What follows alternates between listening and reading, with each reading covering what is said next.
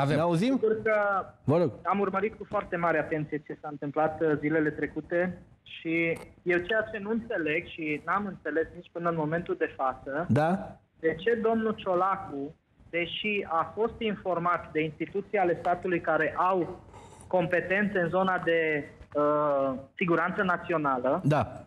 n-a făcut nimic cu 24 de ore înainte. Adică cu 24 de ore înainte a primit o informare și a citit că există riscul de producerea unor calamități în acele zone și cu toate astea n-a făcut nimic. Acolo mai există niște probleme legate de baraje, de îndiguiri, uh, pescării care au fost făcute, eu știu, fără autorizații sau alte probleme care au adus uh, aceste probleme și am ajuns ca să astăzi să ne uităm neputicioși la aceste calamități.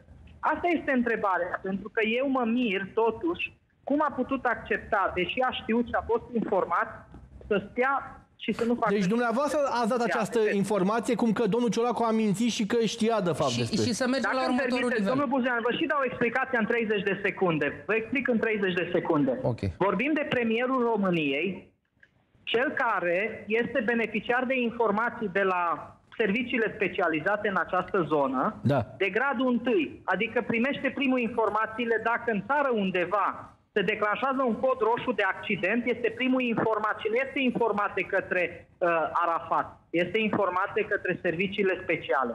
La fel a fost informat și aici, în acest caz, când a fost informat, vă spun, cu 24 de înainte, că există riscul producerii unor calamități. Ce putea Îi face, spun ca aici, să știm? Riscul, există riscul Da. și n-a luat nicio măsură. Ce nu putea spun că face? Cineva la... Păi poate putea să informeze pe oamenii ăia cu câteva ore înainte și poate se duceau de acolo, din calea apelor. Poate își mai luau animalele și le urcau pe un deal și se mai salva ceva.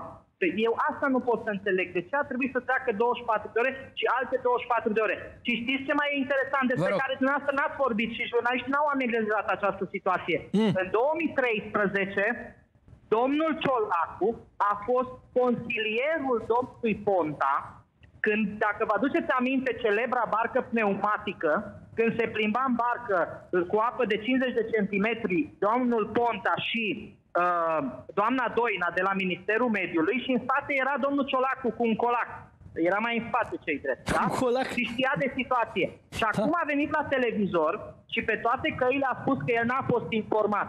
Dom'le, Da, toate așa- suntem așa a noi, menționat, Premierul interesant. României n-a fost Dacă îmi informat. permiteți Vă rog, Da, și mie. da. Îi Domnul dăm Gâdec. cuvântul Dom'le, domnului Haideți să fim Gâdec. realiști și să înțelegem Dacă puțin îmi permiteți cum și mie. funcționează statul român. Da,